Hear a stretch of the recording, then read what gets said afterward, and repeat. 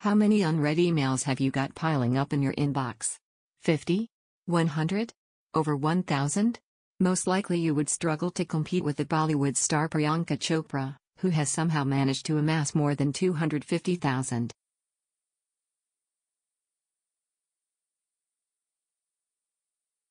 Chopra is one of Bollywood's highest paid actresses and one of the most popular celebrities in India, having starred in more than 50 Indian films since being crowned Miss World in 2000.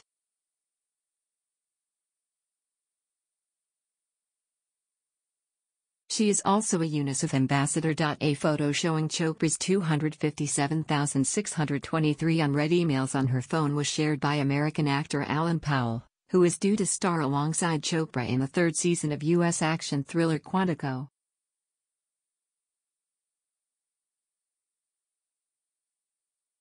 Powell dared anybody to beat his co star over the number of emails they have yet to read.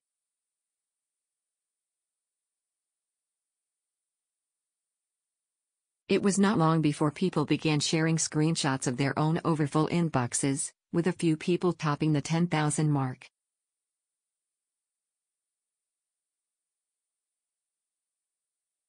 Points for creativity should be awarded to Sandeep Singh who managed to top the 60,000 mark across three different email accounts, but the grand prize goes to Piyush Raka, who dethroned Chopra's record with what would appear to be 381,753 unread emails, a number so high it immediately drew questions of digital trickery from other people on Twitter.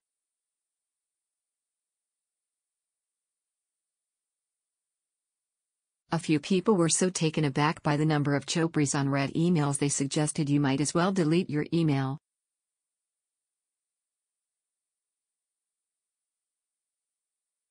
Fortunately, there may not be need for such drastic measures, as iPhone users can simply turn off the unread mail number by going into their phone settings and switching off the badge app icon for their email account.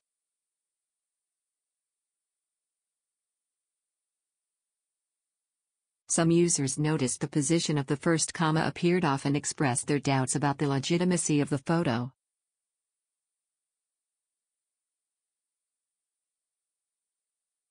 Instagram user Anthony Dela Cruz replied to Powell's picture of Chopra's phone to claim 257,623 is not even a number.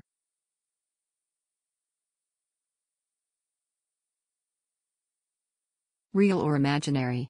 But the figure is written according to Indian numbering, where digits over 9,999 appear in pairs separated by commas.